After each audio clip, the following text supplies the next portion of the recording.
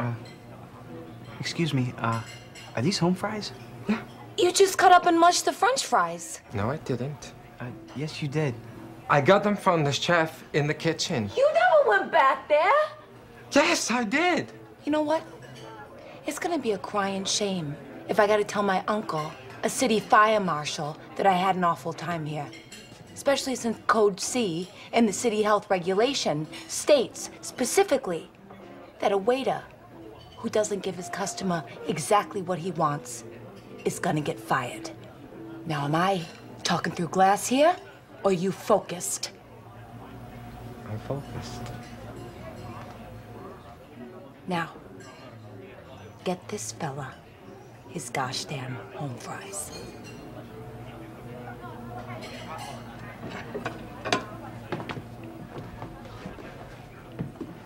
When he gets back, I wouldn't touch those fries if I were you.